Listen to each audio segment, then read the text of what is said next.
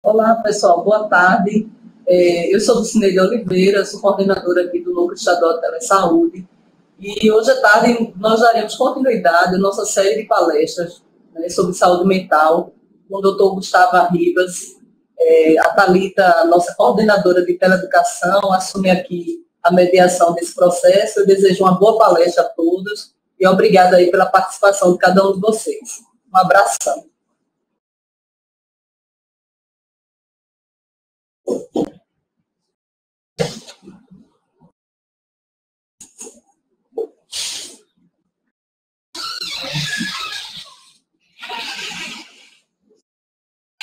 Bem, primeiramente eu quero agradecer a todos né, que estão acessando a plataforma da Telesaúde e dizer que, em nome da Gerência Estadual de Saúde Mental, da Secretaria Estadual de Saúde, espero que possamos estar contribuindo né, para a identificação do sofrimento mental nessa pandemia. E também para que os profissionais de saúde que estão na ponta possam se instrumentalizar de mais recursos para fazer uma assistência de saúde mental de qualidade para os nossos usuários e para os nossos próprios profissionais também que estão na linha de frente e que tanto precisam também. Eu estava com máscara, né, respeitando a regra da vigilância né, da recomendação, mas como todos podemos ver na, na, na, sala, todos estão de máscara, exceto eu. Então, é, essa palestra terá duração de 30 minutos, mais 20 minutos para abertura de interações, mas desde agora vocês já podem participar pelo chat, mandando suas perguntas e direcionando. Alguns que acharem necessário, também vai ser aberto um canal audiovisual para que possam interagir também durante, após o final dessa, dessa web palestra. Bem, primeiro ponto dessa título seria Identificando o sofrimento mental na pandemia. E aí, como objetivo principal, nós vamos estar falando de três pontos. A prevalência do sofrimento da doença mental durante a pandemia, como identificar né, os principais é, sinais e sintomas de sofrimento mental e, por fim, onde buscar ajuda. Primeiro fato importante que nós precisamos recorrer é o seguinte: algumas considerações são importantíssimas. Primeiro, as pessoas portadoras, né, as pessoas poderão desenvolver alguma doença mental, certo? Devido à pandemia. São pessoas que nunca tiveram algum, algum sofrimento mental, uma doença mental na sua vida, mas que poderão vir a desenvolver. Vocês vão ver mais à frente quais são os principais. Segunda consideração importante. Os indivíduos que já possuem alguma doença mental e estão no curso desse tratamento, eles poderão apresentar uma piora do quadro, o que a gente chama de recidiva. Eles poderão, mesmo sob tratamento né, biopsicossocial, acompanhamento psicológico, poderão fazer novos episódios de crise devido a essa pandemia. E, por fim, a doença mental, ela poderá ressurgir na vida das pessoas que já receberam alta devido a algum sofrimento mental. Eu estou alertando isso para os profissionais de saúde, principalmente, para que eles fiquem atentos, né? Que o sofrimento mental pode sim e vai crescer durante a pandemia. Outra consideração importante. Primeiro, a doença pelo coronavírus, ela possui sinais e sintomas de caráter permanente e contínuo. É importante que os sintomas, como foram bem alastrados em outras, outras palestras, que são tosse, coriza, febre, fadiga, astenia, dores no corpo, alterações gastrointestinais, podendo levar ao quadros mais graves, como falta de ar, baixa da oxigenação cutânea e cerebral, todos os sintomas são contínuos, tá? Mesmo que vocês tenham uma medicação, você pode voltar a ter. A segunda consideração que vocês podem ver é que na doença mental, né, se o indivíduo estiver portador ou desenvolver, os sintomas eles são flutuantes. O indivíduo pode até ter, algum momento, falta de ar, uma tosse, uma distúrbios gastrointestinais, como a diarreia, mas esses sintomas passarão. Por último, certo? A resposta terapêutica às intervenções psicossociais, né, como psicoterapia e medicamentosas, como psicotrópicos, só ocorrem na doença mental. Então, isso é um, essas considerações são extremamente pertinentes para que os profissionais que estejam na ponta possam identificar aquela, aquela tosse, aquela falta de ar, aquele distúrbio gastrointestinal, ou aquela sensação de febre referida, ela pode ser uma doença mental e não pelo coronavírus. Bem, qual é a prevalência das doenças mentais nessa pandemia? Primeiramente, a gente precisa ver quais são as prevalências dessa doença mental no Brasil, né? E aí uma coisa importante é que, segundo vários dados, a prevalência de esquizofrenia ou psicose, né, na, no Brasil ocorre em torno de 1% da população. A prevalência de transtorno de humor, em torno de 1,2%. Dos quadros depressivos, são né, depressivos maiores, ou bipolares, são em torno de 4,4%. E os outros transtornos de ansiedade, como o transtorno de pânico, o transtorno de ansiedade generalizada, o transtorno obsessivo compulsivo, ocorrem em média em 1,7%.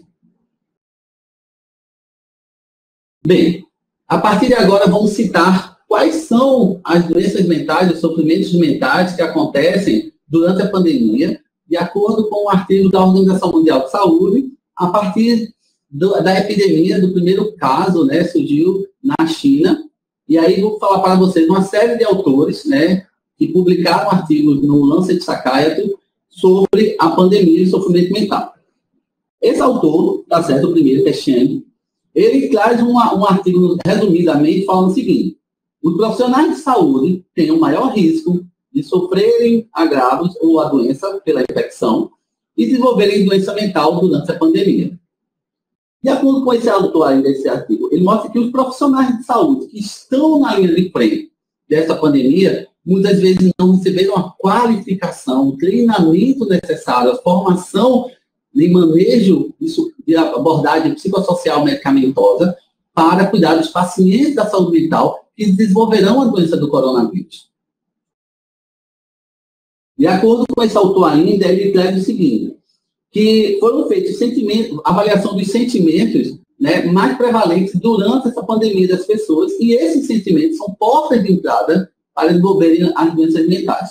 Primeiro sentimento, para as pessoas que têm né, casos confirmados ou suspeitos de coronavírus, um dos principais sentimentos é o medo. Ele tem um medo, certo?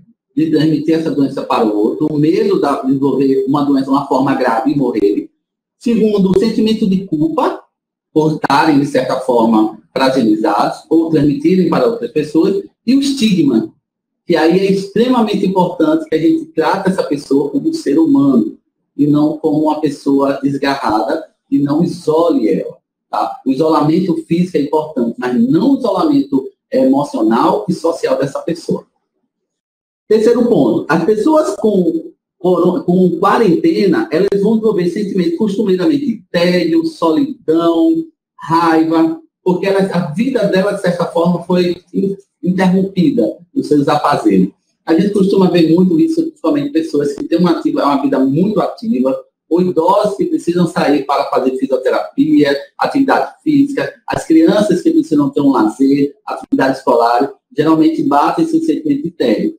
E a solidão, por quê? Porque elas não podem se relacionar com os seus entes queridos, muitas vezes não sair até a comunidade para interagir, interagir socialmente. Outro ponto importante é que os profissionais de saúde que trabalham com coronavírus, eles terão muito frequentemente uma sensação de perigo, uma vulnerabilidade e incerteza. Porque, como se sabe, os profissionais de saúde que trabalham na linha de frente, eles têm a possibilidade de desenvolverem muito mais a infecção e o sofrimento mental. É muito comum ver profissionais de saúde com insônia, né, e isso vai baixar a imunidade deles ao coronavírus. Por fim, esse autor, ele traz algumas coisas importantes. Ele mostrou que os transtornos mentais mais comuns durante essa pandemia são o transtorno depressivo, que muitas vezes em formas persistentes, os transtornos ansiosos, principalmente o transtorno de pânico e o transtorno de estresse pós-traumático, os transtornos é, psicó psicóticos com, com delírios e alucinações, e, por fim, registrado um aumento do número de suicídios para essas pessoas. Se a gente pudesse fazer um, um cruzamento de dados, a gente sabe que hoje as principais causas de suicídio são as doenças mentais, em 90% dos casos. E dentro das doenças mentais, infelizmente, a depressão é a principal causa de suicídio. Então, vai esse alerta também. Os profissionais e a população, durante essa pandemia, aumenta muito o risco de suicídio. Uma outra autora, né, chinesa também, Inu, publicou um artigo logo seguido, no mês de fevereiro, falando sobre a prevalência né, do, do, do, do, sofrimento mental durante a pandemia lá na China. E ela traz o seguinte: sintomas estressores né, de acordo com essa escala diagnóstica, estava presente em cerca de 73,4% da população chinesa. Sintomas depressivos estavam presentes em quase 50,7%, de acordo com a escala PHQ-9, é uma escala muito usada para avaliação do, do estado de saúde mental do indivíduo, é muito, inclusive, utilizada pela atenção básica, pela atenção primária, para mensurar o quadro de sofrimento mental. E os transtornos de ansiedade estavam presentes em 44,7%, né, avaliado pela escala GAD também. E, por fim, a insônia em, mais de um terço da população chinesa. A insônia, muitas vezes, é um sintoma inicial do sofrimento mental da população e é uma porta de entrada para que a pessoa possa adoecer. Vale ressaltar que quando a pessoa dorme, o sistema imunológico ele melhora por diversos mecanismos, como hormonais, como o hormônio de GH, o hormônio de crescimento, estimula né, a fabricação de leucócitos, células que vão destruir né, o, o vírus. Quando você dorme, também você melhora o seu metabolismo, consequentemente, você melhora a sua resistência física e imunológica. Quando você dorme, você consegue haver uma regeneração celular, uma melhora dos neurotransmissores, das substâncias e consequentemente cerebrais, como serotonina, noradrenalina, diminuir sua ansiedade e a possibilidade de depressão. Mas, por fim, quando você dorme, você sonha. E quando você sonha, você aumenta suas defesas emocionais, psicológicas contra o vírus. Consequentemente, seu sistema imunológico também responde à sua melhora emocional durante o sono. Continuando esse autor, ele traz que, outro autor, desculpe, Kang, ele traz que um estudo que ele realizou com 1.210 pessoas numa, em 194 cidades da China mostrou que os efeitos psicológicos as pessoas avaliavam de moderado a grave em mais de 50%, foram em torno de 53,5% da população. Perguntou se as pessoas também, via online, quais eram o impacto que havia dos sintomas depressivos, se elas possuíam ou não. E quase 16,5% admitiram que tinham sim sintomas depressivos de moderado a grave. E, por fim, sintomas de ansiedade de moderado a grave estavam presentes em 22, 28,8% da população. Se a gente pudesse voltar um pouco, como eu comecei a falar, lembre-se que a depressão na população brasileira, em média, é 4,4% sua prevalência. Nós vimos nos dois últimos artigos, chegou variou 16,5% nesse artigo até 50,3% no artigo anterior, que foi o primeiro que eu mostrei. Tá? Os sintomas de ansiedade na população, como pânico, ansiedade generalidade, estavam em torno de 3%. Aqui você encontra prevalência de 28,8% até 44,7%, mostrando que aumentou mais de três vezes a possibilidade do sofrimento mental vier a desenvolver e acontecer na população brasileira. Uh, esse outro artigo, esse mesmo artigo né, da, revista, desse autor, mostra o seguinte, que o nível de estresse, as pessoas avaliaram como altíssimo em, mais de 8, moderado a grave, em 8,1% da população. Havia uma preocupação com seus familiares em quase 75% da população. A internet foi a principal fonte de informação em 93% da população e a maioria das pessoas desejava informações mais atualizadas em mais de 90%. Isso mostra o seguinte, esse autor traz para discussão. Você ter preocupação, você buscar informações atualizadas cientificamente, vai ser uma fonte de amenização da ansiedade. Porém, evite excesso de informações e excesso de, de é, visões ou leituras sobre o coronavírus, para que isso não venha adoecer sua saúde mental. Bem, esse autor ele traz o seguinte, que foi um dos primeiros artigos que traz quais são os fatores de risco né, para que a população sofra mais doenças mentais. E ele descobriu o seguinte, que possuir, ser do sexo feminino aumentava a chance né, de desenvolver depressão e ansiedade. Ter um nível de escolaridade superior, ser estudante ou nível superior, também aumentava o risco de ter um sofrimento, desenvolver uma doença mental. A presença de sintomas físicos recorrentes né, na vida de uma pessoa também causava mais sofrimento mental e autoavaliação ruim das, do seu estado de saúde também causava mais predisposição e doenças crônicas também. O que isso traz por fim nesse artigo? Que você tem que ter uma visão realista da situação da pandemia, mas sempre buscando sempre a positividade. Pensamentos positivos ajudam a diminuir essa ansiedade e trarão melhores sistemas imunológicos para combater a infecção pelo coronavírus. Bem, e agora, como identificar o que é doença mental, sofrimento mental, e o que são sintomas do coronavírus? Isso é uma grande dúvida para os profissionais. Bem, eu selecionei as principais doenças mentais ou sofrimentos mentais que acontecem durante o coronavírus, né? Primeiramente, a depressão. Como vocês podem visualizar, a depressão ela produz, possui três áreas de atuação na vida do, do sujeito. E é importante que vocês possam visualizar aqui. A primeira área, área emocional ou psicológica, o indivíduo vai apresentar tristeza, choro fácil, perda do interesse e prazer pelas atividades habituais, Além disso, do ponto de vista cognitivo, uma falta de atenção, concentração, lentificação do pensamento. Do ponto de vista físico, a pessoa pode possuir, durante a depressão, dores no corpo, fadiga, alterações do sono, como a insônia, alterações do apetite para mais ou para menos, mas também pode ter outros sintomas físicos, como tosse, diarreia, pode ter falta de ar. Tudo isso também parece com o coronavírus, mas nem sempre é. E aí, qual é a grande, a grande tensão que eu chamo para você? Os sintomas físicos, né, da doença, da depressão, no caso que nós estamos falando, são flutuantes ao longo do tempo. E do coronavírus, não. Então, se você tem, né, sintomas que semelham ao coronavírus, analise direito se você tem realmente. Não estou dizendo que as pessoas não possam, com depressão, não venham a ter coronavírus. Mas é importante que elas identifiquem. Será, será que esses sintomas físicos que eu estou sentindo, como a falta de ar, a tosse, a diarreia, alterações respiratórias, são do coronavírus ou são o meu estado depressivo que piorou durante essa pandemia? É notório se esperar que as pessoas piorem no sofrimento mental durante esse quadro.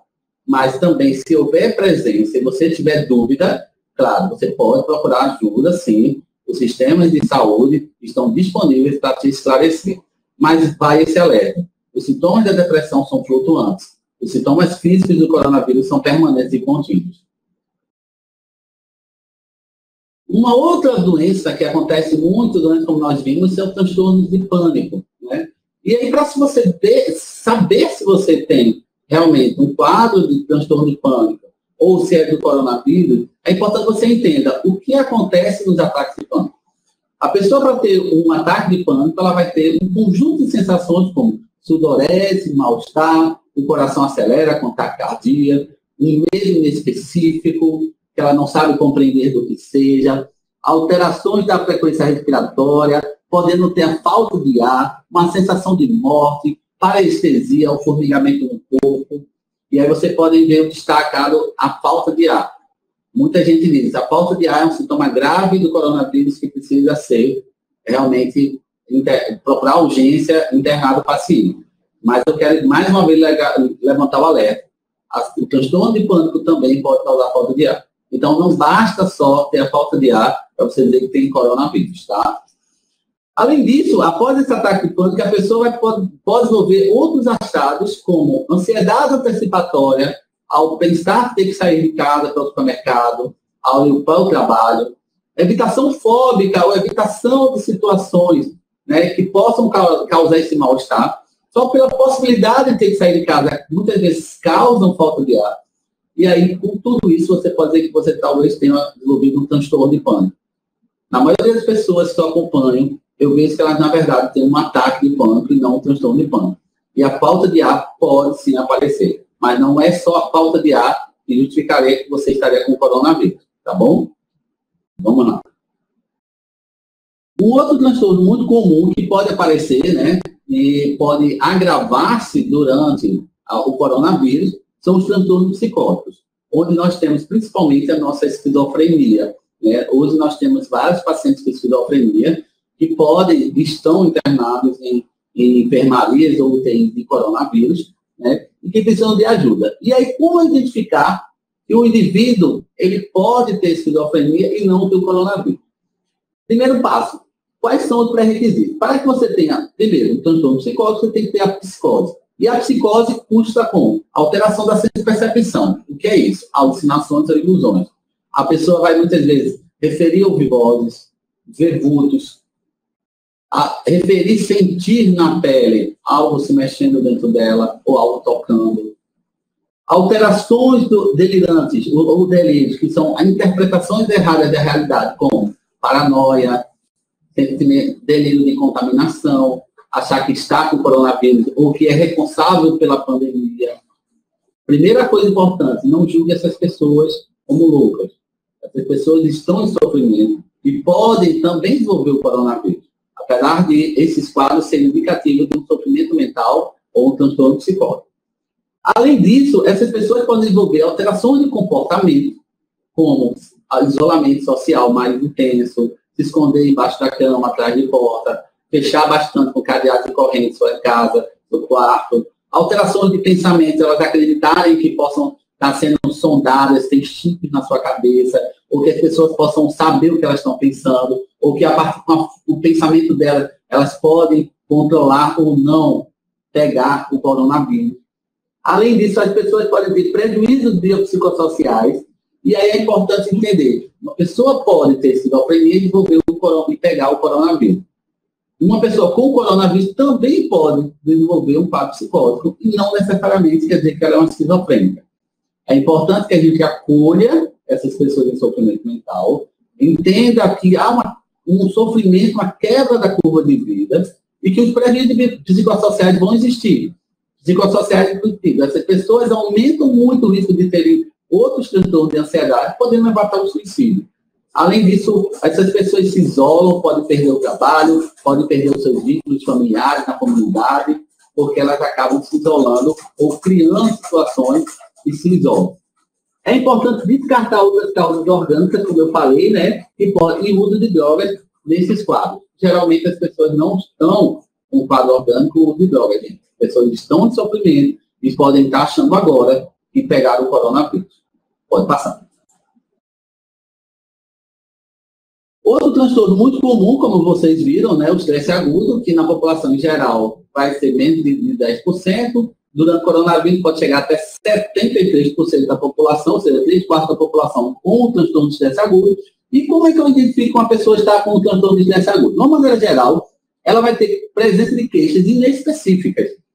Durante esse período, né, é muito comum a pessoa ter queixas de ansiedade, tristeza repentina, dificuldade de concentração, dificuldade de executar as atividades habituais, a rotina doméstica, a rotina de trabalho, além de queixas físicas, que podem se assemelhar ao do coronavírus, como tosse, diarreia, pode se dar uma sensação de febre interna de calor interno, uma, um espirro psicossomático devido à ansiedade dessas pessoas, podem até ter uma falta de ar que aparentemente seja uma, uma forma de espinéia devido ao coronavírus.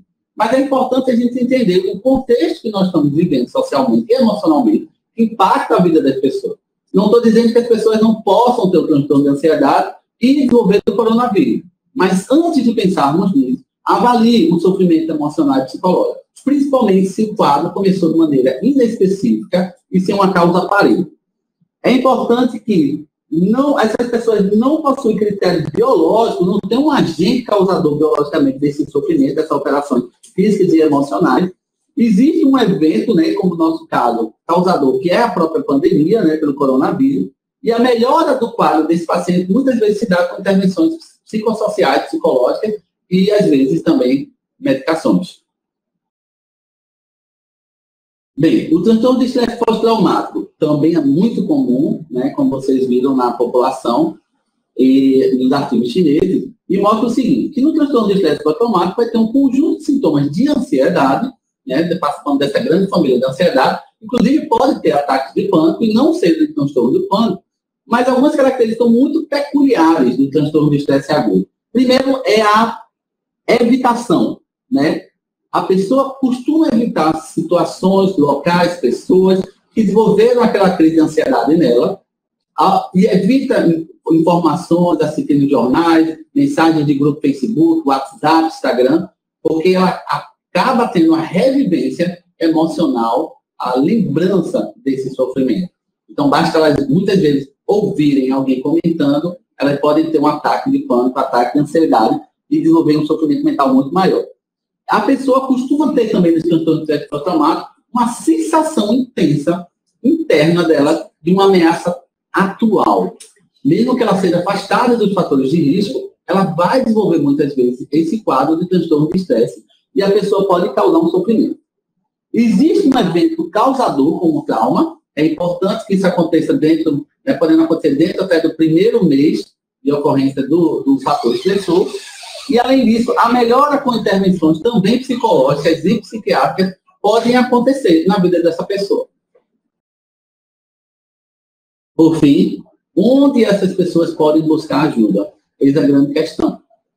Vocês viram quanto é muito importante. As pessoas vão desenvolver depressão, ansiedade, um transtorno de pânico, transtorno de estresse agudo, transtorno de estresse pós-traumático. Quadros psicóticos podem surgir ou podem ser agravados e piorados durante essa crise. E aí, onde buscar ajuda? No território. O local de ajuda da pessoa é no território, onde ela reside. E quando a gente fala no território, eu quero dizer que esse território pode ser a nossa rede de atenção psicossocial em saúde mental, né, que é composto por diversos equipamentos, mas principalmente pelo nosso Centro de Atenção Psicossocial, que são os CAPs. Né? E essa rede está disposta e aberta para acolher, seja a população, seja os profissionais que estão na linha de frente. Essa rede também ocupa espaços intra-hospitalares, como os leitos integrais de saúde mental, os leitos de enfermaria, né, que podem ser acionadas dependendo da demanda e da necessidade da, do profissional e da população. Para além disso, eu quero dizer que esse cuidado no território precisa existir o cuidado biopsicossocial. É, primeiramente, você cuidar de você, como vai sua saúde física e emocional, cuidar do outro, né, desse outro que fala que está na sua frente, o outro que muitas vezes precisa que você dê uma palavra de apoio, não precisa medicar, precisa muitas vezes ouvir e acolher essa pessoa. Cuidar do seu ambiente de trabalho, e aí vem questões como equipamento de proteção individual, mas também a interação social das pessoas com os outros colegas de trabalho. É extremamente importante que você cuide do seu ambiente de trabalho. E, por fim, cuidar né, da sua comunidade. Você precisa também cuidar do espaço onde você faz claro, respeitando as regras de contato e convivência durante esse, durante esse período da pandemia. Então, onde buscar ajuda? No território onde você mora, certamente vai ter um dispositivo de saúde mental, um dispositivo né, que possa acolher, acolher, cuidar, acolher você. E você também fazer sua parte. Os cuidados biopsicossociais são tão fundamentais quanto a própria rede. E aí, não se esqueça disso. Tá? Cuidar de você, cuidar do outro, cuidar do ambiente de trabalho cuidar da comunidade. E aí eu quero deixar aberto para a discussão e falar que na próxima quinta-feira, dia 16, às 15 horas, vamos estar falando muito mais desse cuidado. Como os profissionais, como a, os profissionais que estão na ponta precisam e podem se cuidar e cuidar do outro. Esse cuidado no território. Muito obrigado.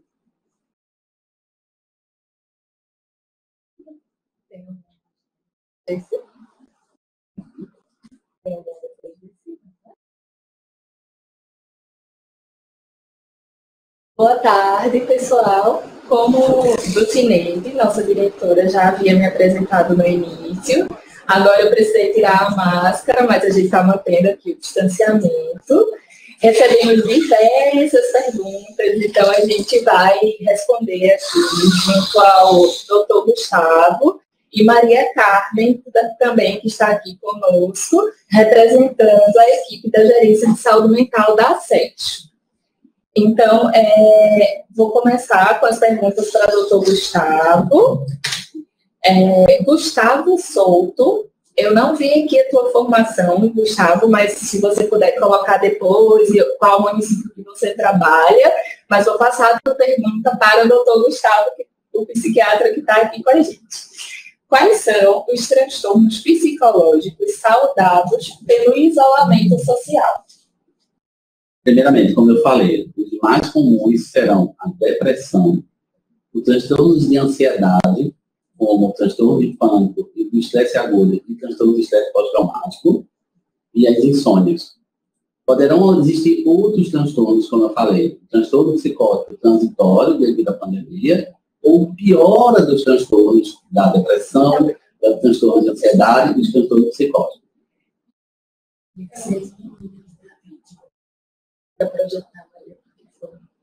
Posso continuar aqui?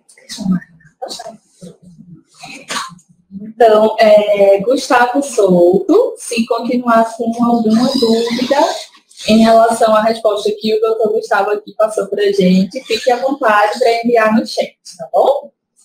É, a outra pergunta que nós recebemos de Maria Mônica Gomes de Lima. O que pode ocorrer com um profissional da saúde que sofre de ansiedade tem doenças crônicas que define como um grupo de risco, tem hipertensão, diabetes, angina do peito e mesmo assim não foi liberado, apesar de no momento não estar trabalhando diretamente com pacientes. É importante você entender o que é o grupo de risco. Do ponto de vista, o grupo de risco é definido por questões clínicas biológicas da pessoa, bem como exposição direta ao ambiente do coronavírus. Para que você possa ser afastado do ambiente de trabalho, você deve ter os dois critérios presentes. Você tem, como você falou, hipertensão, diabetes, angina, pode ter um transtorno de ansiedade, mas se você traz, você não é exposta ao ambiente direto ao coronavírus, isso não isentaria você de buscar, né, estar tá cuidando, fazendo assistência de tantas outras pessoas da população que também precisam né, de seus cuidados. Então é importante que nós, como profissionais de saúde, fizemos um juramento e temos uma missão de cuidar de nós mesmos, principalmente cuidar daqueles que precisam da gente. Né? Claro, respeitando as regras de contato, os EPIs necessários, mas a resposta é essa. Você não possui a necessidade, pelo menos imediata, de se afastar, tá? Porque você não está exposto diretamente ao coronavírus. Você é sim. Mas de acordo com o decreto, né, os profissionais de saúde que não trabalham na linha de frente, eles saem, tem algum fator de risco, eles são afastados dessa linha de frente e vão cuidar de outras pessoas. Porque é importante não esqueçamos, gente, apesar do coronavírus, nós temos a população que ainda precisa, que são hipertensos, diabéticos, que são idosos, que têm doenças de Parkinson, que têm transtorno de espectro autista. Essas pessoas também precisam da gente e estão aí sofrendo, porque elas não têm coronavírus, mas elas precisam de profissionais que cuidem, que acolham elas nas suas necessidades. É, como nós estamos aqui também com Maria Carmen, que faz parte da, da equipe da gerência de atenção à saúde mental da SEI, da Secretaria Estadual de Saúde, é, a próxima pergunta eu vou passar para ela. Vocês não estão visualizando a Maria aqui no vídeo, porque a gente está obedecendo à distância, né? Mas a Maria vai responder para a gente.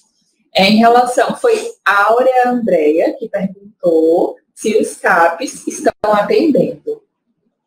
Olá, boa tarde. Né, só para informar que os CAPs estão sim atendendo, né? Nós da Gazan, da Gerência de Saúde Mental do Estado, fizemos uma nota técnica com algumas orientações aos municípios que possuem esse tipo de serviço da RAPS, para que os serviços continuem de portas abertas, né, evitando apenas os atendimentos de grupo. Então, atenção à crise, acolhimento, dispensação de medicação, né, as equipes estão empenhadas nesse processo de continuar esse, ofertando esses atendimentos e acolhimento, inclusive pensando nessas novas demandas aí que estão surgindo por conta da pandemia.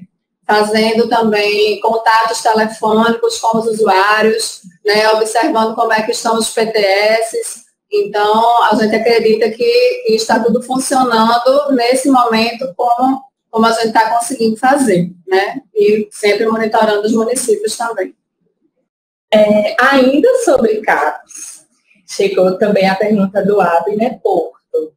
Foi dito que a busca deveria ser feita via território, especialmente CAPES. Contudo, o que vemos nos CAPES, nesse momento, é um fluxo inverso com diminuição de equipe, com redução de acolhimento e horários. Como orientar que os pacientes procurem o CAPS se o CAPS está fazendo o caminho inverso do fluxo? Veja, a orientação do Estado, né, a orientação que nós vem, é, estamos fazendo juntamente com os apoios das GERES, é que os serviços eles permaneçam abertos. Logicamente que a quantidade de usuários dentro do serviço ela vai ser reduzida, até por uma questão de proteção, seguindo os protocolos. Tá? Então, essa questão de grupo, né, orientação que fosse suspensa, mas a gente está monitorando junto a cada referência de cada GERES como está o funcionamento desses serviços e a orientação do Estado é que os serviços continuem abertos e a equipe esteja lá para fazer esses acolhimentos. É importante frisar que o CAPS, né, ele é um lugar de atenção à crise. São lugares onde as pessoas de sofrimento mental graves, como eu falei, com depressão, quadro psicótico, de ansiedade, que possam vir até pensar em tentar suicídio, estejam abertos para cuidar. Eles são tão relevantes quanto qualquer urgência, emergência hospitalar, porque sem eles as pessoas podem vir à extinção. Então, lembrando, o coronavírus ele vai passar, né, segundo prazo até agosto, mas as doenças mentais, os sofrimentos mentais, podem perdurar muito mais tempo. Então, a gente não aceita né, perder uma vida, não só pelo coronavírus, mas principalmente pelo suicídio por conta de uma depressão, de um quadro psicótico, porque o serviço ele não quer ou não está aberto. A gente, orientação realmente, todos estaremos abertos e funcionando, respeitando todas as regras de EPI necessárias, mas entendendo, precisamos salvar vidas. E as vidas acontecem, a morte acontece não só pelo coronavírus, mas pelo suicídio também, devido a um sofrimento mental. Agora a pergunta de Catiúci para o Dr. Gustavo. Quando o transtorno de ansiedade atinge a criança, vale a pena eliminar qualquer assunto sobre a pandemia? Ou como poderia ajudar, já que o atendimento individualizado não está sendo realizado? Bem, como eu mostrei, nesses artigos eles citam também como poder fazer assistência em saúde mental, cuidado de saúde mental para as crianças, adolescentes e idosos, populações né, eles chamam de vulneráveis, muitas vezes essas pessoas, as crianças, adolescentes, elas devem receber informações claras, de acordo com a idade delas, não é excesso de informação que vai ajudar, mas informações claras, só uma vez por dia, tá? no máximo.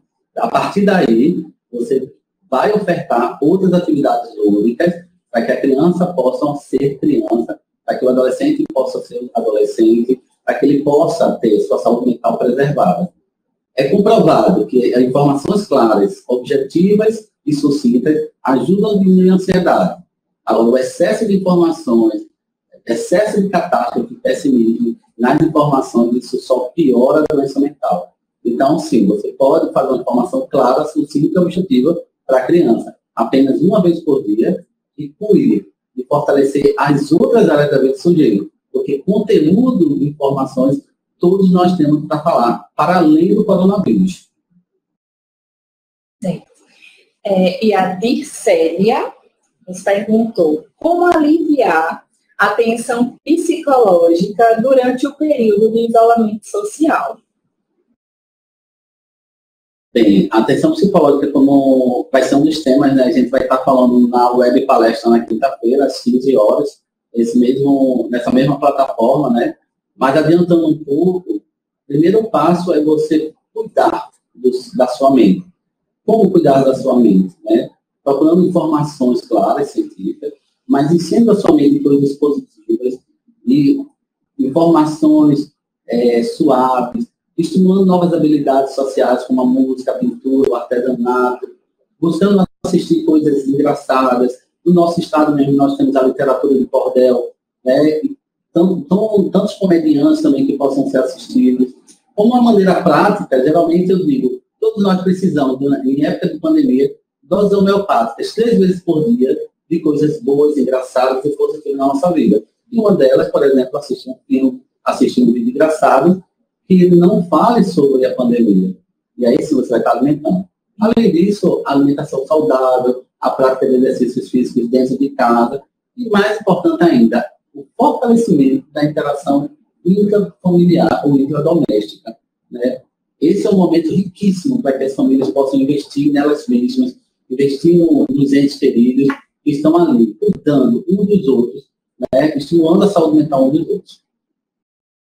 É, e eu vou compartilhar aqui o comentário que Silvana, coordenadora de PIX da SES, trouxe para a gente. É, compartilhar também com Maria Carmen, que está aqui representando a equipe da, da saúde mental, é, que apesar do Estado orientar que não fechem as portas, temos visto que a maioria dos CAPs estão fechados.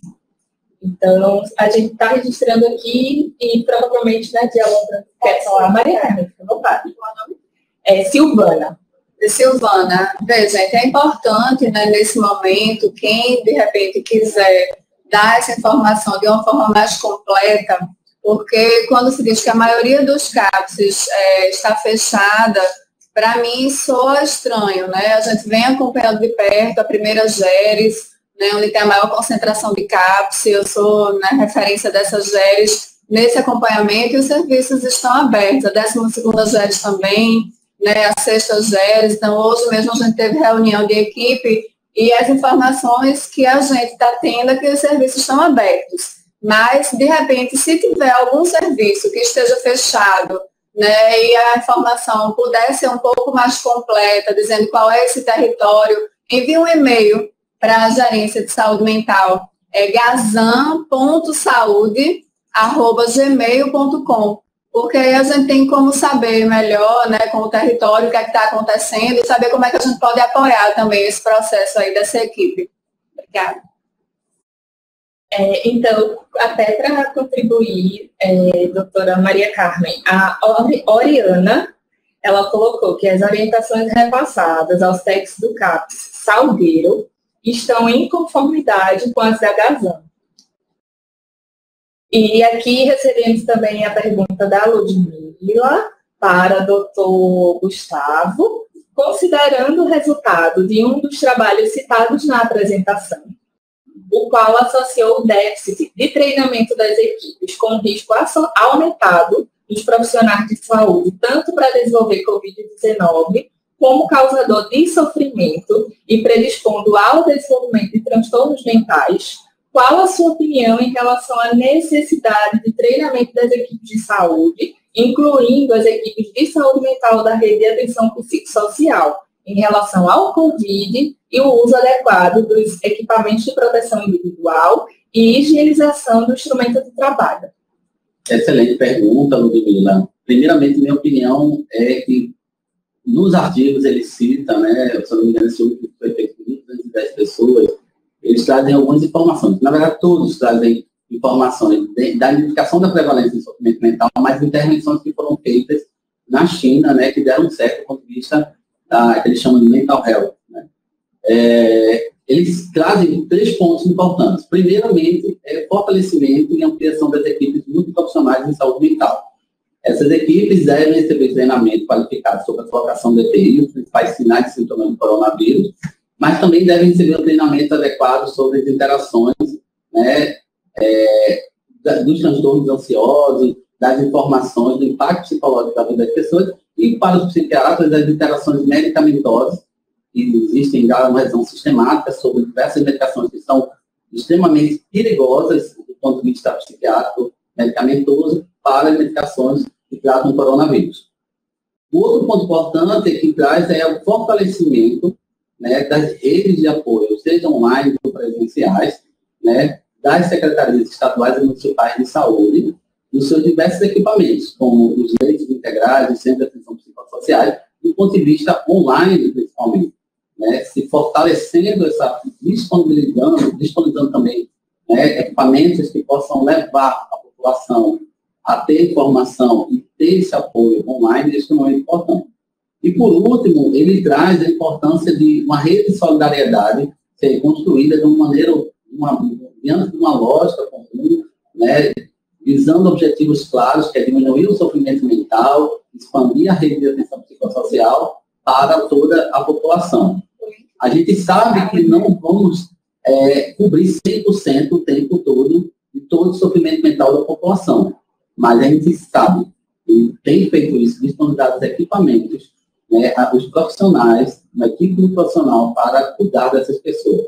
E aí vamos estar programando mais para frente uma outra web palestra, somente voltada para os médicos que estão na linha de frente, nas UTIs, ou nas terapias intensivas, ou semi-UTIs, e hospitalares, como eles possam manejar o suporte psicológico e medicamentoso para os pacientes que estão hoje né, com transtorno mental, como a esquizofrenia, e na UTI, na enfermaria de Covid. É extremamente importante isso, e a gente da Secretaria de Saúde Mental estamos trabalhando nessa revisão sistemática para lançar né, essas orientações, não gosto de chamar de protocolo, porque parece algo muito imposto, né? Mas essas orientações baseadas na ciência, né, dos artigos científicos, sobre a melhor intervenção possível, né? Uma outra sugestão que eu faço, né, principalmente para as unidades hospitalares, como o Hospital Evangélico, e outros hospitais, é que a própria rede, a equipe psicossocial que já existe lá, e de médicos, médicos especialistas e psiquiatras, possam estar interagindo, formando uma comissão né, para dar suporte aos profissionais e aos pacientes. É muito importante nesse momento que as equipes que têm um manejo né, em saúde mental possam estar ofertando para suas próprias unidades as melhores intervenções psicológicas, psicossociais e medicamentosas para os pacientes com Covid. Então, eu acredito que é o nosso papel da saúde mental fornecer esses materiais, mas também é o papel de todos dessas unidades hospitalares também disponibilizar, né, fazer essa interconsulta, esse mapeamento dentro das suas próprias unidades de saúde, com né, um, um conhecimento técnico de saúde mental que cada um possa ter. E é essa hora de trocar experiências e interconsultas a gente tem que se fortalecer mais. É, Ludmilla complementou a pergunta dela e agora eu vou passar para a doutora Maria Carmen em relação aos EPIs. É, é, Ludmilla colocou assim, além do treinamento, a importância de existirem os EPIs adequados destes serviços da RAPS que precisarão continuar funcionando. Isso, Tirar a máscara. Isso, Ludmilla, né? Acho que sua observação é bem pertinente, né? Mas só que assim, o fornecimento dos EPIs, eles devem ficar a cargo dos municípios, tá? E, logicamente, obedecendo todas as orientações e protocolos a serem seguidos, mas isso é uma, uma questão que fica a cargo de cada município. É, continuando as perguntas, gente, muito legal que vocês estão interagindo, assim, fica muito melhor, né? Fica bem. A gente tá vendo tanto a, a, o interesse de vocês por esse conteúdo e o quanto que é importante a gente dialogar por meio desses, desses espaços de web palestra. É, então, continuando. É, Suene Valadares. Prezado doutor Gustavo, penso que seria válido reiterar a continuidade do tratamento psicológico das pessoas, inclusive as crianças que já estão em tratamento. Os psicólogos seguem com os atendimentos na modalidade online e tem sido visto bons resultados. É verdade. Tá? Excelente colocação, inclusive, as crianças e os mais jovens têm sido é, muito estimulados, já são estimulados por essa rede, né? É, online, de equipamentos eletrônicos, e eles têm acolhido né, de uma forma mais acessível. Eu percebo, inclusive, em pacientes com transtorno de hiperatividade com déficit de atenção, que quando ele faz a consulta via Skype, via a telesaúde, né, a telemedicina, eles aderem mais, o foco deles aumenta. E é notório, cientificamente mostra, né, que os estímulos dos aparelhos eletrônicos fixam mais a atenção e a concentração da pessoa, e com isso elas podem elaborar mais sobre suas questões emocionais, seu sofrimento psicológico, diante dessa pandemia, né? É, agora vamos à pergunta da Natália Vasconcelos. Acho que doutora Maria Carmen poderia começar, e aí doutor Gustavo pode complementar, fique à vontade. A Secretaria de Saúde definiu um plano de ação e contingência para os hospitais psiquiátricos. Podem falar sobre ele? Sim, primeiramente, assim, os hospitais psiquiátricos, né, na verdade, vamos corrigir. Existe uma unidade né, é, de urgência emergência hospitalar, que é o Hospital Ulisses Pernambucano. Existem outros hospitais que funcionam no modelo antigo, né, é, mais asilar, que são também, podem ser chamados de hospitais psiquiátricos, sobre isso. O que se recomenda é que se priorize o sofrimento mental.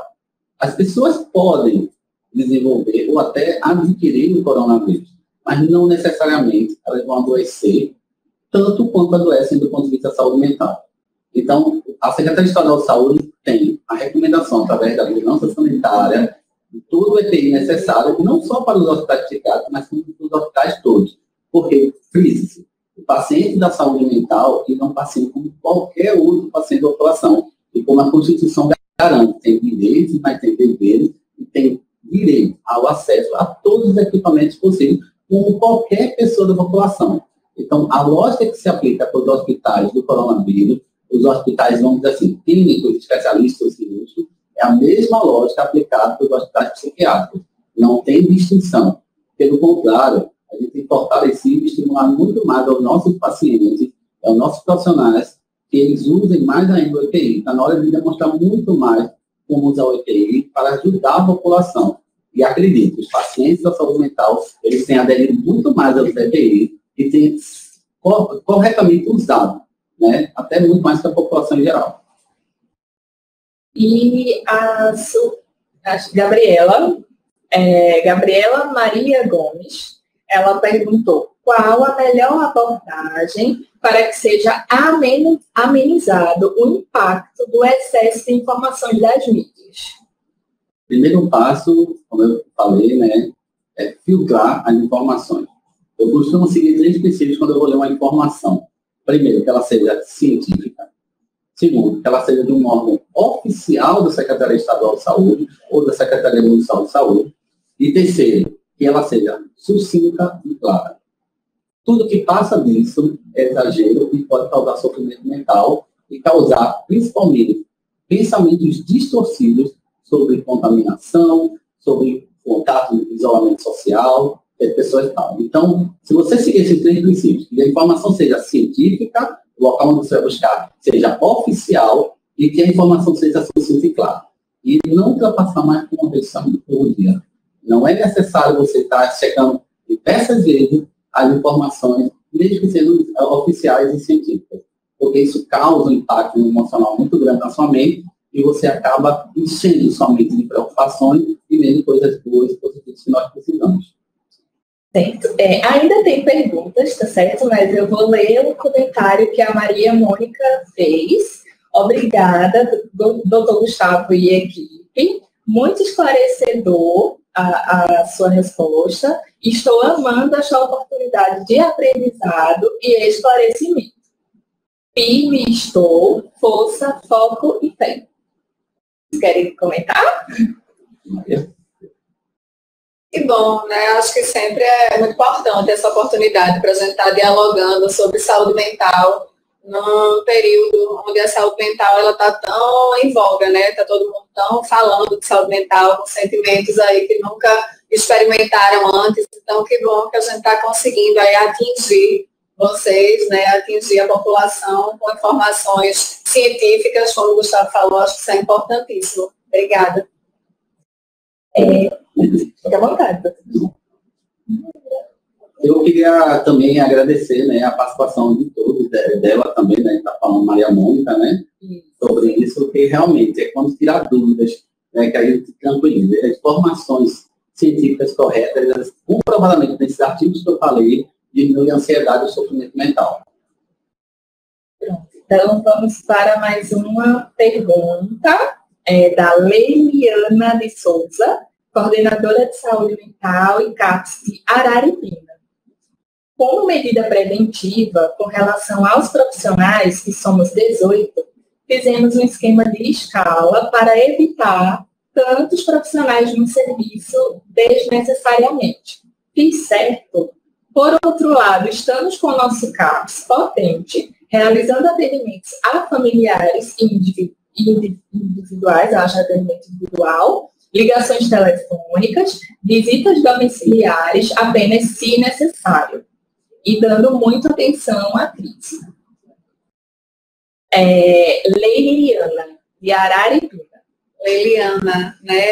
Acho que a gente falar em certo e errado nesse momento, né, não seria muito adequado. Eu acho que você está seguindo as orientações. Acho que essa questão da escala da equipe é, vai ficar muito a critério de cada serviço, de cada equipe, né, com a realidade de cada território, de cada município, mas alguns, alguns territórios, alguns serviços têm feito essa opção sim, né, de fazer uma escala de profissionais, tentando reduzir, às vezes o serviço não tem um espaço tão grande, né, para que as pessoas mantenham essa distância de dois metros entre cada um, então sempre respeitando os protocolos que estão sendo preconizados aí pela OMS e pela Secretaria de Saúde.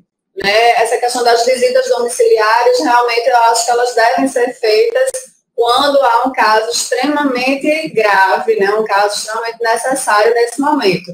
E sempre pensando, como o Gustavo falou é, um pouquinho de tempo atrás, em relação à atenção à crise. Né? A gente precisa lembrar que os CAPs, eles são serviços de atenção à crise em saúde mental e que a gente consiga continuar fazendo esse manejo de atenção à crise. Então, fazer atenção à crise nesse momento não é simplesmente dispensação de medicação, né? Essa era uma discussão que a gente tinha hoje de manhã, mais cedo, na nossa reunião de equipe.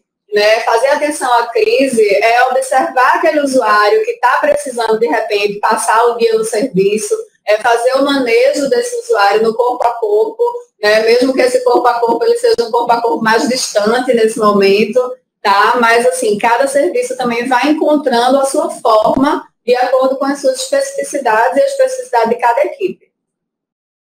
É, e tem outra pergunta sobre rede. A urgência do Ulisses Pernambucano está atendendo normalmente? Quem perguntou foi a Áurea André. Sim, a urgência do Hospital Ulisses Pernambucano está atendendo normalmente, assim como as urgências clínicas estão atendendo aos quadros de cefalocitose diabética, crise hipertensiva, pacientes com acidente vascular cerebral, pacientes com quadros graves, infarto, também sim. É importante frisar, nós não deixamos as outras doenças de lado em prol só do coronavírus. Porque, como eu falei, o coronavírus ele vai passar, mas as pessoas vão ficar. E muitas doenças são crônicas, são permanentes. A pandemia, ela é temporária. Então, a gente nunca pode deixar de esquecer, né, de filtrar focar na pessoa, no sujeito, né, principalmente nas doenças que ela já possui muito antes dessa pandemia. Então, a urgência da saúde pernambucana está, sim, atendendo, claro, respeitando os equipamentos, né, botando equipamento de proteção individual, respeitando. O que se criou muito, que tá, se a gente está vendo todas as emergências clínicas ou psiquiátricas, é uma redução do fluxo, da quantidade de pessoas nelas, pelo receio e aglomerações de pegar o coronavírus. Mas isso não quer dizer que elas não estão funcionando. Elas estão funcionando sim. Tá? E lá, inclusive, estamos fazendo estímulo à psicoeducação da população, dos profissionais, das, dos pacientes e seus familiares sobre a utilização correta do EPI. Certo. E outro comentário que a Silvana, coordenadora do PIX, ela enviou parabeniz, parabenizar por todos os esclarecimentos. É, a Oriana, do CAPS de Salgueiro, agradece a oportunidade. Na verdade, ela escreveu com equipe, né, o CAPS Salgueiro, agradece a oportunidade de interação que vem nos esclarecer quanto às condutas adequadas. É, vocês ouviram em um momento que a doutora Maria Carmen falou do e-mail da Gazan. Talvez, não, se não conseguiram anotar, eu vou colocar aqui no chat, certo? Porque acabei de colocar no chat, vocês podem anotar caso sintam a necessidade. Vamos continuar aqui com os comentários. Atenção básica da Sexta Geres perguntou se a gente vai disponibilizar a apresentação. E aí vocês viram que uma pessoa aqui da nossa equipe, ou, a Suelen ou Renata, que faz, fazem parte aqui da equipe de vídeo, colocou os links no chat, né? O link da nossa plataforma de ensino, que é um link que está dentro do nosso portal, e nesse ambiente a gente vai disponibilizar em até 72 horas tanto a, a apresentação quanto a web palestra gravada. E a gente também tem disponibilizado é, no nosso canal no YouTube por esse link que a Suelen ou a Renata colocaram aqui para gente. Continuar aqui as perguntas. Só para dizer, gente, assim, ó, é, estamos bem felizes com a participação de vocês. A gente tem aqui nessa sala 71 pessoas, mas na ferramenta streaming a gente está com 308 participantes. Então, estamos muito felizes com essa participação. A gente sabe que não é fácil em tempos de pandemia, a correria que a gente está vivenciando e reservar esse tempinho para dialogar, mas ao mesmo tempo é muito relevante participar desse momento, né, com uma educação permanente. É, vou olhar mais outras perguntas, certo? A Vanessa, ah, só para dizer que a Leiliana é, agradeceu. Obrigada pela orientação.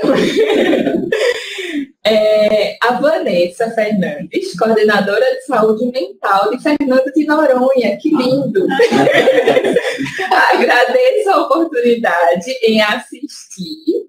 É importante até para a nossa saúde mental, em poder trocar ideias e ouvir novamente vocês, esses esclarecimentos. Ah, muito obrigada, Vanessa. É, eu também, assim, como profissional de saúde aqui da equipe do Saúde, eu também estou me sentindo beneficiada por esse momento. Assim, estava aqui prestando atenção, as orientações que o doutor Gustavo fez para a gente, o quanto que a gente também fica muito impactado com todas essas notícias e, ao mesmo tempo, com a responsabilidade sanitária que a gente tem como profissional de saúde e acaba sobrecarregando mesmo, né? É, as nossas emoções, os nossos sentimentos. Então, eu também estou muito beneficiada por essa equipe. é, vamos mais às outras perguntas. Gente, se por acaso eu passei alguma, vocês podem colocar novamente aqui, porque tem muitos, mas a gente acha legal, viu? Podem continuar. então, a Laísa. Ah, tem uma, outro agradecimento, a Catius. Agradeço imensamente todos os esclarecimentos que obtivemos até o momento. Muito útil esse canal de conhecimento. A Laísa Lorena, do CAPS de Petrolândia, agradece também os, os esclarecimentos. E o Rodrigo Costa Patu, ele colocou parabéns a todos que contribuíram para o evento. É, acho que nós temos, se a, a Suelen e a, a, a, Renata puderem me ajudar em mais alguma pergunta que por acaso eu não consegui acompanhar, porque já agora no finalzinho foram muitas, né? Mas estou vendo aqui também outros agradecimentos. Ah, a Leliana colocou, seria muito bom que esse diálogo pudesse ocorrer novamente. Eu acho que o doutor Gustavo pode falar da próxima agenda, que a gente tem outro momento com ele ainda essa semana. Exatamente. Eu, eu primeiramente, assim, pensando né, em fortalecer a saúde mental dos profissionais que estão na ponta, né, cuidando diretamente do, das pessoas né, que pegaram o coronavírus ou dos pacientes na saúde mental, a gente vai estar difundando como Secretaria Estadual de Saúde, é, dois dias na semana, vai ser ampliado depois, né, de interconsulta. É, além dessas web palestras, nós teremos é, na quinta-feira a web palestra sobre cuidando da sua saúde mental na pandemia, né? Você aprender a se cuidar para poder cuidar do outro. E disponibilizando na sexta-feira da manhã a interconsulta, que ocorrerá de 9 às 11h30, né? também pela, pela plataforma né, da Telesaúde, para os profissionais de saúde estarem interagindo e tirando suas dúvidas. A gente entende que tanto a web palestra quanto a interconsulta ou a teleinterconsulta, web interconsulta, elas são fundamentais para esclarecimentos, e esclarecimentos gerará menos ansiedade, consequentemente, menos baixo do sistema imunológico e o indivíduo se protegerá mais sobre o, coronavírus. Né? Eu costumo dar uma dica para as pessoas, quando você está numa pandemia, você tem que pensar num raciocínio da saúde pública que diz assim, quando você está numa situação que tem muita dificuldade, você primeiro faz uma avaliação diagnóstica do que está acontecendo. Né? A gente entender essa prevalência do que vamos esperar né, de sofrimento de doenças mentais na comunidade é importante. Segundo passo, você definir as prioridades. E essas prioridades passam por você se cuidar, não só do ponto de vista do EPI externo, mas eu costumo dizer do EPI interno, né, o equipamento de proteção individual interno, que é a sua saúde mental e é o seu corpo também, né? É as suas relações afetivas sociais que você tem. Então, não basta só colocar uma máscara e uma luva. Você tem que se cuidar internamente. E terceiro, é vencer, muitas vezes, esse, essa cultura que nós temos de sermos fragmentados. Né? O que, é que a saúde mental tem a ver com a população do ponto de vista clínico do coronavírus? Né? Porque as pessoas estão, teoricamente, ditas que não têm nenhum transtorno mental, são normais, assim, entre aspas, e elas estão adoecendo. Né? O que é que isso impacta uma pessoa que se acha normal clinicamente e ela, a partir do momento, se vê com esse sofrimento mental e, a partir daí, o estigma? Porque ela um dia pode ter produzido esse estigma e preconceito para o outro e agora ela está adoecida com né, da doença mental. E aí é importante a gente entender o que está acontecendo, sabendo o que vai nos esperar, né, a partir daí definir as prioridades, cuidando, vencendo essa fragmentação que muita gente tem cultural, e aí buscando né, informações claras, científicas, oficiais. Então, a partir daí, a gente está fortalecendo, sexta-feira vamos começar com essa interconsulta para os profissionais de saúde sobre essa questão de saúde mental na pandemia. Né? Eu já estou preparando um outro material, eu uma revisão sistemática sobre, principalmente voltado para os médicos, que muitas vezes me perguntam né, na interconsulta se tal droga pode, não pode, se tem interação com os antibióticos, com os retrovirais, e é extremamente importante, porque muitas vezes a medicação ela pode ser muito pior do que o próprio vírus na vida do paciente. É, então, tem mais uma pergunta, da, eu acho que é Ilcia, se eu estou lendo errado, por favor, me perdoe. Ilcia Rodrigues, diante de um medo real que é a pandemia, que manejos trabalhar com profissionais de saúde médicos, enfermeiros, fisioterapeutas que estão na linha de frente.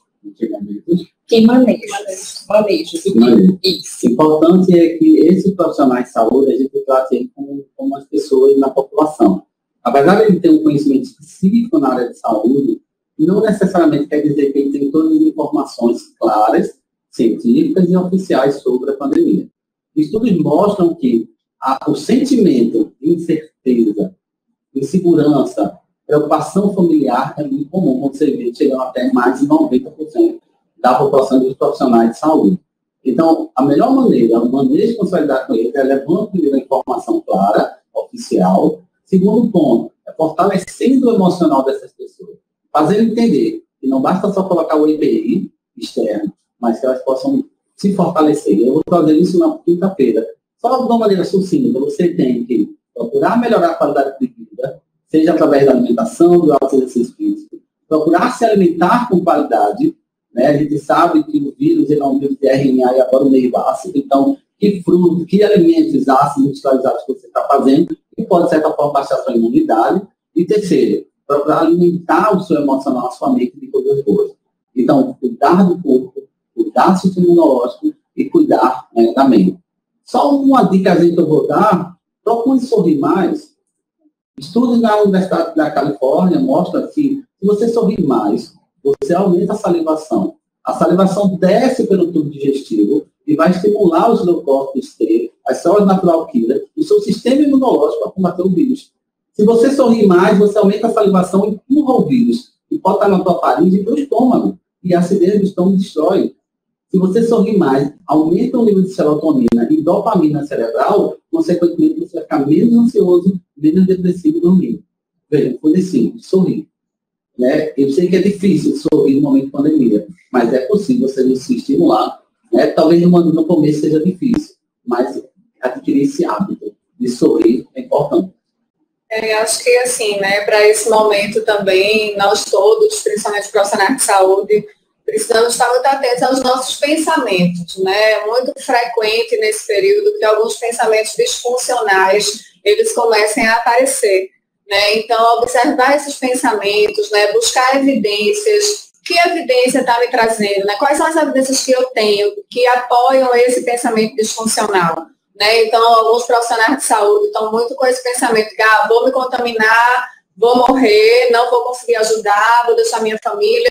Então, que evidências de fato eu tenho? Né? Estou tomando as precauções, estou seguindo os protocolos, estou né? fazendo isso que o Gustavo está dizendo, né? alimentação saudável, estou mantendo uma distância né, recomendada pelos protocolos também, né, observar sempre esses pensamentos, para que os profissionais de saúde, na verdade todos nós, né, para além também dos profissionais de saúde, para que a gente não tenha uma cristalização desses pensamentos disfuncionais. Acho que nesse momento isso é bem importante também.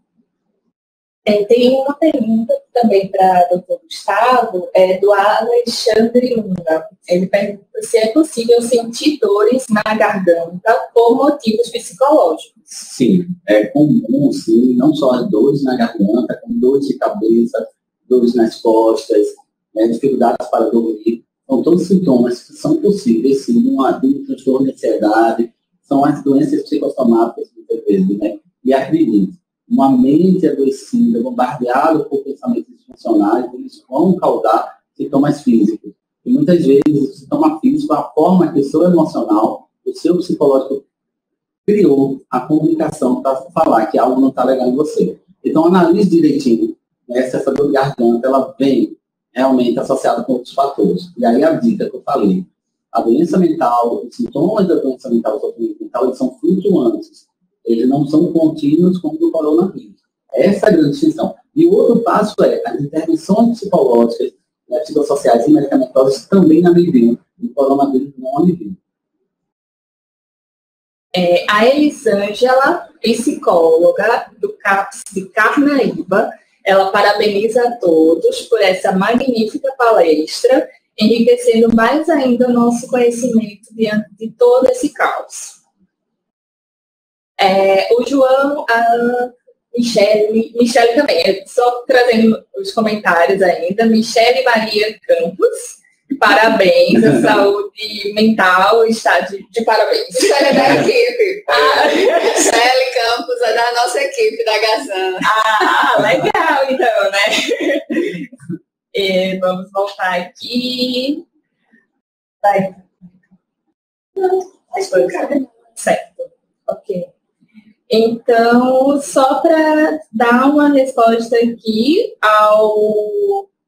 Só um instantinho, gente. João, Henrique. Depois a gente entra em contato com você, tá certo? Até porque você colocou aqui se não caberia nesse momento, então eu passei já para a área técnica e a gente entra em contato. Por favor, coloca o teu e-mail, pode ser aqui no chat privado, no, no, ah, eu tenho, eu tenho tem... e-mail, tenho telefone, tudo bom, João? pronto, então... Eu ligo para você. Pronto, pronto. Gente, eu acho que é, acabaram as perguntas, né? Ah, tem mais uma. Acho que a gente finaliza com essa, né, da Leiliana. Eu sei que está muito legal, mas é porque aqui na salinha também tem ainda outras agendas. E, e, a gente, é uma forma da gente ver, né, com a equipe de saúde mental, a gente precisa ter outros momentos, como vocês já pediram. então, é, a Leiliana perguntou aqui, estamos com problema seríssimo com o usuário, que tem a mãe idosa, a esposa é curadora e deixou o usuário na casa da mãe há 49 dias. Vem sacando seu dinheiro durante esse tempo porém sem dar nenhuma assistência. Nesse momento de CREAS fechado, o que poderíamos fazer com relação à esposa curadora? Um boletim de ocorrência, apenas uma buscativa. Esse usuário, é, em relação a esse usuário, nós estamos medicando regularmente, porém não evolui com melhora exatamente porque ele deseja estar com a esposa. Bem, é importante esclarecer o seguinte, vamos entender o que está acontecendo definir as prioridades. O que é bem claro a prioridade dele é que o, o distanciamento social afetivo da esposa piora o sofrimento mental dele. Né? Isso, para isso não é medicação. Né? É o acolhimento desse sujeito do ponto de vista psicológico, para entender a situação, né? E aí, com relação à esposa, antes de sair, né, batendo, fazendo boletim, eu acho que a primeira coisa é chamá-la para ouvir essa história dela. Né? As pessoas têm motivos não devemos, de pandemia, serem duras demais, críticas demais com relação a certas atitudes. Porque, como eu falei, no período de quarentena, tanto para quem tem casos confirmados, quem tem casos suspeitos, os profissionais, é muito comum a raiva, o medo, a ansiedade, a inquietação, e isso pode fazer as pessoas tomar atitudes que aparentemente é um absurdo, abandonar o, o cônjuge de sofrimento, mas ele também tem que conversar a pessoa né, essa esposa. Então, o primeiro passo é isso. é, dar o acolhimento e suporte ao paciente, não é só medicar, porque ele se medica né, o distanciamento afetivo social. Segundo passo é chamar essa esposa para ouvi-la, sem crítica, sem julgamento. Entender que ela também pode estar em sofrimento. Né? A partir daí você vai ter elementos suficientes para poder cuidar melhor desse paciente. Aí eu garanto para você. Como você vai fazer isso? Nós temos vários meios, seja online, seja no telefone, seja o agente de saúde, né? seja a própria equipe de saúde mental, do CRAS, do CRES, todo, todos que estiverem disponíveis. Porque o indivíduo, ele não é de A, B ou C, de tal equipamento, ele é do território. Né? Ele, ele é né, responsabilidade de ser cuidado por todos, da saúde, da assistência, da educação, né, de todos. Então, não é só da, do equipamento A ou B ou C. Então, a dica que eu te dou, procura essa esposa né, e apoie esse indivíduo, dá um suporte a ele, eu tenho certeza que ele vai melhorar muito mais rápido. Então, pessoal, agora a gente vai precisar realmente finalizar. Eu vou passar a palavra tanto para o doutor Gustavo fazer uma fala de finalização e a doutora Maria Carmen, é, porque de fato já chegou no, no, nosso horário, tá certo? Mas a gente amou todo esse diálogo com vocês. Bem, primeiramente eu quero agradecer né, ao pessoal da Telesaúde, da Secretaria Estadual de Saúde, né? Em nome da Gerência Estadual de Saúde Mental, a gente está aqui colocando essa disposição de vocês. Fico muito feliz, né? Esse material tem sido produzido muito antes da quarentena, porque a gente já vinha sentindo a necessidade, né? De entender o que está acontecendo, o sofrimento na vida das pessoas, entendendo que agora vai, vai gerar muito medo, muita incerteza. Mas a dica que eu dou para vocês, volto a afirmar, né? Cuidem da sua saúde mental, para que você possa cuidar do outro. Acesse informações claras, científicas, sucintas, não alimente sua mente de coisas negativas, para que esses pensamentos né, disruptivos, disfuncionais vão, vão se sedimentando pelo raiz da mente de vocês. Procure investir mais na família, no intradomiciliar, na comunidade, no outro, a interação social, o aprendizado de novas habilidades, né, buscar novos hábitos saudáveis, como alimentação, exercício físico, e você vai descobrir né, que você pode muito mais passar por essa pandemia. Por quê? O coronavírus vai passar, a nossa saúde fica. A nossa saúde mental vai ficar. E como ela vai ficar depende muito também de você. Obrigado.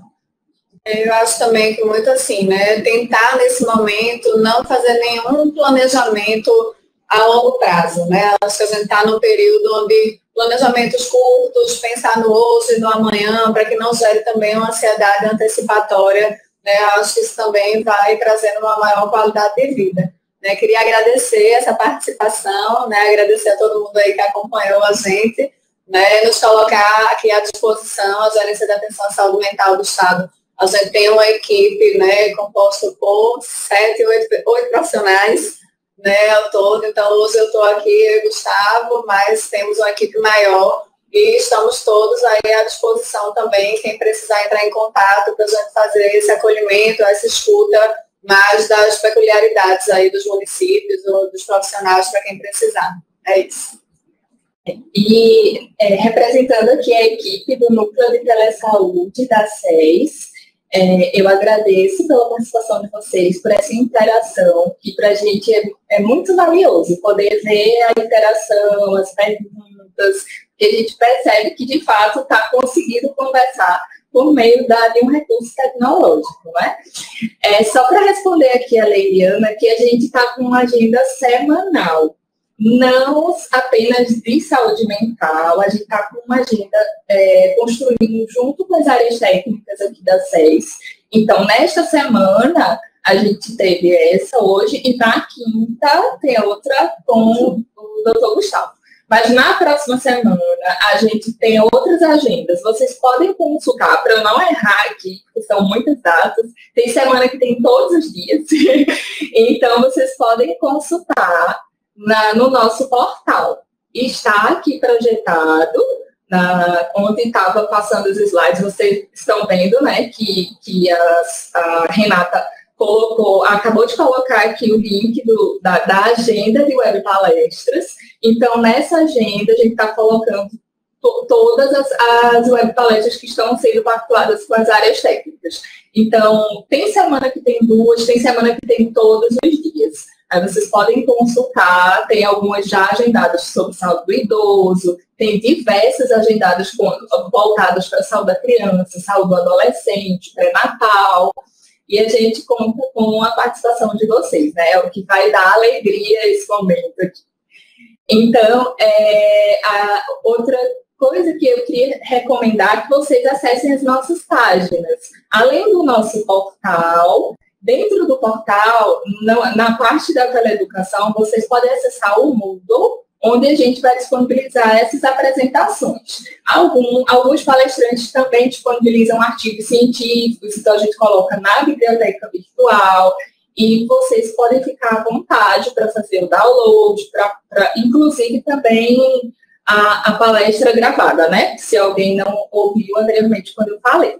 E só para atualizar os números, Nessa salinha da web, da web conferência, a gente está com 75 pontos, então provavelmente mais do que 75 pessoas, porque tem equipe de TAPS também aqui participando, e 396 participações por stream. Então, para a gente é muito gratificante, assim, ter a participação de vocês. Queria falar, doutor Não, eu quero agradecer né, a todos que acessaram, porque realmente a, é a primeira vez né, que a saúde mental a gente está fazendo essa palestra, eu estou fazendo, né? E tive a participação na semana passada, né, na aula no web palestra do professor Bruno, mas esse acesso assim eu fico muito feliz. E possamos, quem sabe, mais para frente ampliar essa Aumentou. plataforma. 413, né? corrigindo aqui, viu? Exatamente. E a gente vai estar, assim, né? Estejam disponíveis acessar a interconsulta, tá? Que vai ocorrer todas as segundas e sextas pela manhã né, nessa, na, na, plataforma, na plataforma da telesaúde. Tá? Vamos trocar mais ideia, essas questões de casos também com a equipe.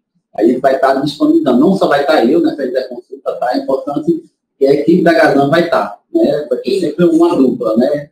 Para que possa interagir, porque a gente acredita que a intervenção ela é biopsicossocial, não é puramente medicamentosa, tá bom? Muito obrigado. E a gente colocou também aí o link do, do, nosso Instagram, tá certo? Onde a gente também publica nossas agendas e outras atividades que são desenvolvidas aqui no núcleo. Então, muito obrigada, se cuidem e a gente se encontra nas próximas agendas, tá bom? E qualquer coisa a gente está aqui à disposição. Um abraço virtual. Um abraço a vocês. Tchau.